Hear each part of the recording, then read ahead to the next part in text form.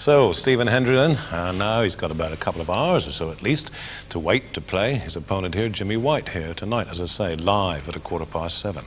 We also travelled down to Jimmy White's home, that's down in Surrey, to see the other side of James Warren White. You may find it surprising, but Jimmy White has been married for 13 years and has four daughters. Throughout his career, he's been the lovable rogue and headline maker of snooker.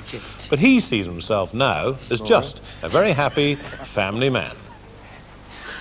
I used to enjoy to go out a bit, yeah, but um, I think that was only because of, you know, I was young, really. I think um, nothing else. I just went for it because I was young, but, you know, now, now I used to look forward to going away to places too, having a good time. Now I go away looking forward to playing snooker.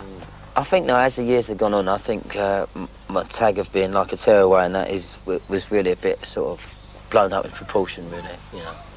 I don't think it's uh, it's not a problem to me anyway. I just want to play snooker. Has he changed much over the years as a person? Um, no, not at all. No. Oh, come on, he was a bit of a tearaway. Still is. so here we go again then, the championship of the world. Mm.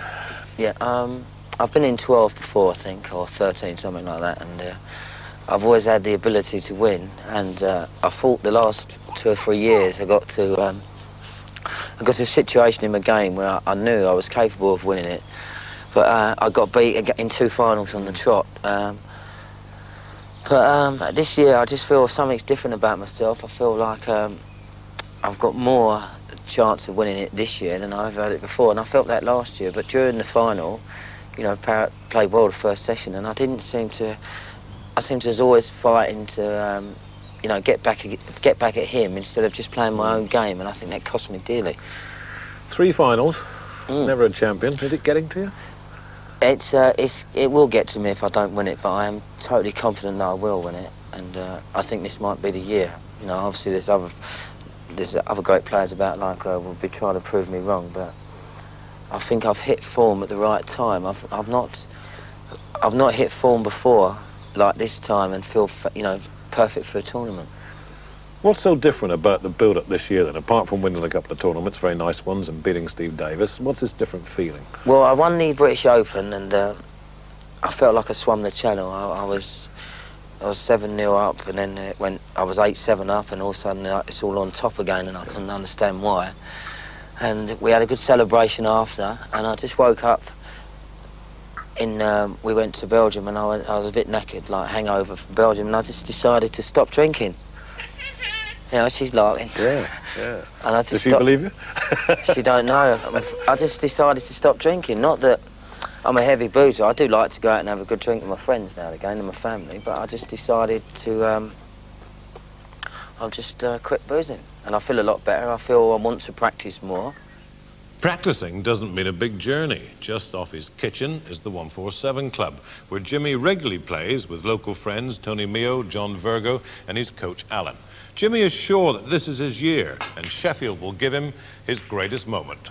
It doesn't matter what happens, every year it's something different happens, something special always happens at the Crucible, and it's, uh, it's just the snooker, the World Championship just can't be taken away from there. You know, I'd like to have more tournaments in London, but the World Championships has always got to be there. It's just a very special place, and obviously it's the World Championships.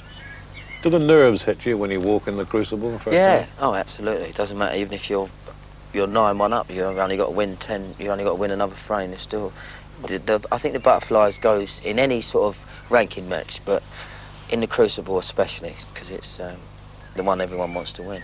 How uptight does Jimmy get before a big event like the World Championship? He doesn't get uptight at all doesn't, no, never shows any feelings, but um, he doesn't ever complain or moan or anything, even if he loses. So he doesn't get uptight. How difficult is it going to be for John Parrott to go there and defend his title? Is this going to give him extra pressure? Don't know because I've not been world champion. If you ask me that next year, I'll be able to tell you. Sounds a bit flash, doesn't it? no, I can't. I can't tell you because I've not been champion. Hello. Is that my cup of tea? Thank you. See you on tea. Whoops. If he does win, I will ask him next.